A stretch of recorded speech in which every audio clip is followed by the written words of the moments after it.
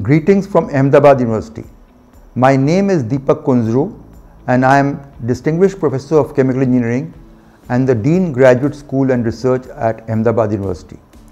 Before joining Ahmedabad University, I was a faculty at the Indian Institute of Technology Kanpur for more than 41 years where I also served as Head Department of Chemical Engineering, Dean Resource Planning and Generation and Dean Research and Development. I have also spent a semester at MIT USA. In this video, I will briefly tell you all there is to know about studying chemical engineering, what it is, what chemical engineers do, and the highlights of chemical engineering education at Ahmedabad University.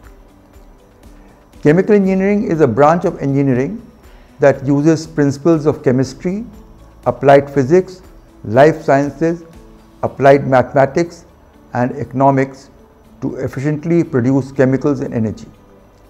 Chemical engineering principles are used for the production of a variety of products such as fibers, fabrics, paints, drugs, biomaterials, gasoline, cosmetics, etc. A chemical engineer is someone who designs large-scale processes that convert chemicals, raw materials and energy into useful forms and products. It is the responsibility of chemical engineers to discover and implement new products and processes that are useful and economical. Chemical engineers are involved in many aspects of plant design and operation, including safety and hazard assessment, process design and analysis, control engineering, and chemical reaction engineering. Traditionally, chemical engineers have been employed in diverse industries such as petroleum refining, petrochemicals, fertilizers, different inorganic chemicals, polymers and textiles. In recent times, increased emphasis on life sciences has highlighted biotechnology and pharmaceutical firms as good opportunities for young chemical engineers. Chemical engineers have made significant contributions around the world in many different areas. Let me give, get you acquainted with some famous chemical engineers. The richest Indian, Mukesh Ambani, Roberto Goizueta, former chairman and CEO of Coca-Cola. Professor M.M. Sharma, Padma Vibhushan, former director of ICT Mumbai. Jack Welch, former chairman and chief executive officer of General Electric.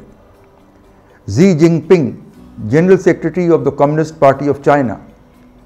K. Vijay Raghavan, the current principal scientific advisor to the government of India. Ashutosh Sharma, the immediate past secretary of Department of Science and Technology, Government of India.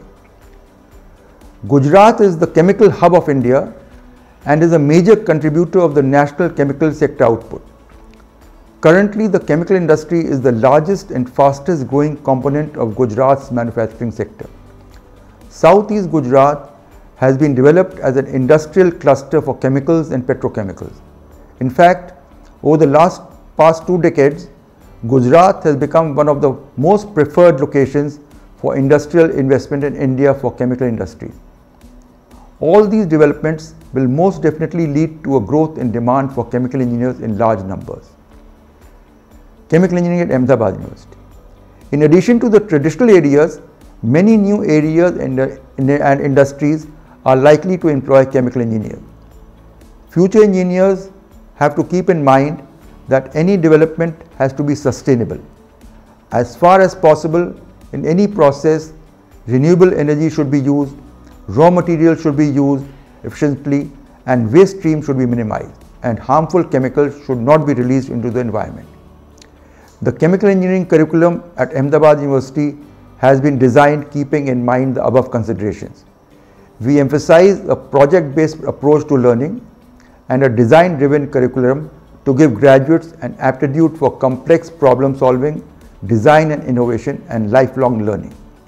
The school aims to prepare engineers who can work in an interdisciplinary and collaborative manner at the intersection of traditional disciplines.